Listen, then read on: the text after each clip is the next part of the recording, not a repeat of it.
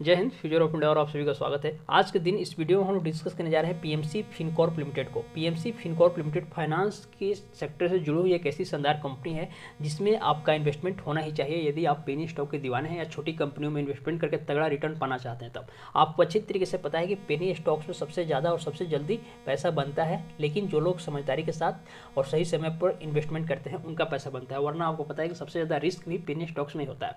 हालाँकि मेरा सजेशन मानिएगा तो यदि आप स्टॉक मार्केट से जुड़े हुए हैं तो बिना रिस्क लिए आप अच्छा पैसा स्टॉक मार्केट में नहीं बना सकते। मेरा खुद का तजुर्बा कहता है। पीएमसी फिनकॉर्प कैसी कंपनी है, क्या काम करती है टेक्निकल और फंडामेंटल इस कंपनी का क्या कहता है, इस वीडियो में हम लोग संपूर्ण बातें समझेंगे। फ़िलहाल यहाँ पर आप देखेंगे तो दो रुपये तीन पैसा के आसपास इसने अपना क्लोजिंग दिया है, वो भी डेढ़ परसेंट के आसपास गिरावट इसमें देखने को मिली है, सिर्फ़ आज के दिन। हालाँकि इसमें गिरावट देखेंगे तो काफ़ी दिनों से देखने को मिल रहा है। पिछले एक सप्ताह में देखेंगे तो पिछले एक सप्ताह में स्टॉक तकरीबन आपको सिक्स के आसपास तकरीबन इसको सेवन परसेंट मान लीजिए सेवन परसेंट के आसपास से स्टॉक आपको टूटते हुए दिखा है। वहीं पर एक मंथ में देखेंगे तो एक मंथ में भी स्टॉक तकरीबन दो परसेंट के आसपास टूटा है।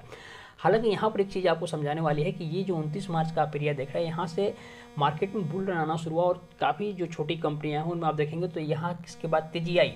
लेकिन इस स्टॉक में देखेंगे तो यहाँ पर जहाँ गिरावट खत्म हो गया है, उसके बाद तेज़ी आने के बजाय फिर से इसमें आप देखेंगे तो गिरावट का ही दौर शुरू हो गया और ये गिरावट इस पर लंबा चला है। पिछले सिक्स मंथ में देखेंगे तो सिक्स मंथ में भी स्टॉक तकरीबन पच्चीस परसेंट के आसपास टूटा है। अब यहाँ पर देखेंगे दोस्तों, ये रहा PMC Fincorp Limited company company के काम और फंडामेंटल और बाद में आते हैं, पहले टेक्निकल एनालिसिस के माध्यम से बात को समझ लेते हैं। देखिए, अभी इस कंपनी का मैंने एक साल का चार्ट ओपन किया और एक साल के चार्ट पर जब आप देखेंगे तो आप पाएँगे कि इसमें लंबी अवधि से देखेंगे तो इसमें गिरावट देखने को मिल रहा है। जब आप यहाँ पर ध्यान से समझेंगे तो आप पाएँगे कि इस लेवल को ब्रेक करने के बाद स्टॉक लगातार लोअर लो बनाते हुए नीचे की तरफ़ आ रहा है। लोअर लो बनाने का मतलब है कि स्टॉक धीरे धीरे नीचे जाता है। अब यहाँ पर क्या हुआ है कि ये स्टॉक अभी फ़िलहाल इस लेवल पर आकर इसने सपोर्ट लिया है अपना, जो कि डेढ़ रुपये के आसपास का रहा है और यहाँ से सपोर्ट लेकर भी सेप में स्टॉक ऊपर की तरफ़ बढ़ रहा है। देखिए भी शेप में जब बनता है तो उसमें थोड़ा रिस्क होता है। क्या होता है? जब डब्ल्यू पैटर्न किसी चार्ट पर बनता है तो ये एरिया ऊपर जाने के लिए लायक होता है, माना जाता है कि इस एरिया में तेज़ी आएगी। अभी इसमें सिर्फ़ भी शेप बना है तो भी शेप की बदौलत एक अच्छी खासी तेज़ी तत्काल समय में आते हुए नहीं दिख रही है। लेकिन आपको पता है कि पहले भी शेप बनता है, फिर ही इसमें डब्लू बनता है। तो यानी कि ऐसा हम समझ सकते हैं कि अब इस स्टॉक में तेज़ी यानी कि जो क्राइटेरिया है, वो क्राइटेरिया कुछ कुछ स्टॉक पूरा करते हुए यहाँ पर दिख रहा है। जैसे आप देखेंगे तो ये स्टॉक अभी भी शेप बनने के बाद जब ऊपर गया तो फिर नीचे आ रहा है और फिर ऐसे डब्लू बनाकर ऊपर उठेगा। तो उसके बाद जब इस दो, ये जो एरिया है, जो एक इंपॉर्टेंट सपोर्ट लेवल दो रुपये का, जो रेजिस्टेंस भी कर सकते हैं, इसको ब्रेक करने के बाद ऊपर निकलेगा, तब इसका प्राइस फिर आपको ढाई रुपये के आसपास जाते हुए दिखेगा और फिर तीन रुपये के आसपास जाते हुए दिखेगा। मतलब टेक्निकल एनालिसिस के माध्यम से ये पता चलता है कि चार्ट पर अच्छे संकेत मिल रहे हैं इस कंपनी के शेयर प्राइस को ऊपर जाने को लेकर। अब फंडामेंटल देखते हैं कि फंडामेंटल इस कंपनी का कैसा है, ताकि जो लोग लंबी अवधि की रणनीति बना रहे हैं इस स्टॉक में, उन्हें एक बेहतर अंडरस्टैंडिंग हो सके इस स्टॉक के प्रति। तो देखिए पीएमसी फिनकॉर्प का जो काम है फाइनेंस की सर्विस प्रोवाइड करती है, जिससे आपको पता है पर्सनल लोन देना या किसी को डेप्ट देना और खासकर जो बड़े प्लेयर्स होते हैं, जैसे कॉरपोरेट सेक्टर को ज़्यादातर लोन प्रोवाइड करती है, एक एनबीएफसी कंपनी आप इसको मान सकते हैं। तो ये कंपनी का काम है। अब देखिए, इस कंपनी का जब मार्केट कैप आप देखेंगे, यानी कि फंडामेंटल की बात करते हैं तो एक सौ आठ करोड़ के आसपास की कंपनी है। एक सौ आठ काफ़ी लक्की नंबर होता है, आपको पता है।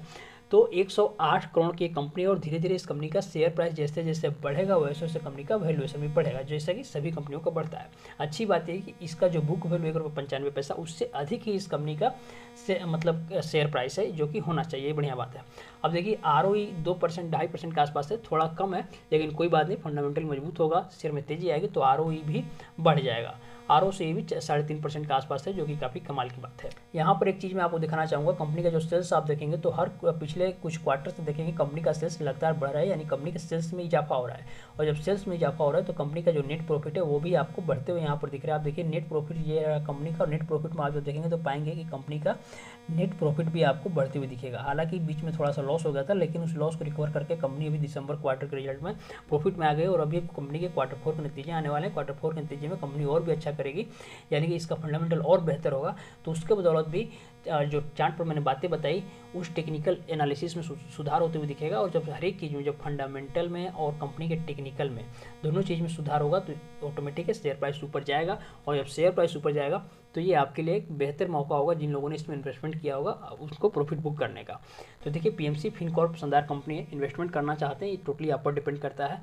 मेरे से कुछ पूछना चाहेंगे, जानना चाहेंगे तो मुझे कमेंट कर दीजिएगा। व्यक्तिगत रूप से हमसे जुड़ कर जानना चाहेंगे तो मुझे इंस्टाग्राम पर फॉलो कर लीजिएगा। बाकी कंपनी ठीक है, जो बातें थी मैंने आपको बता दी है। मिलते हैं अगली वीडियो में, तब तक के लिए धन्यवाद, शुक्रिया।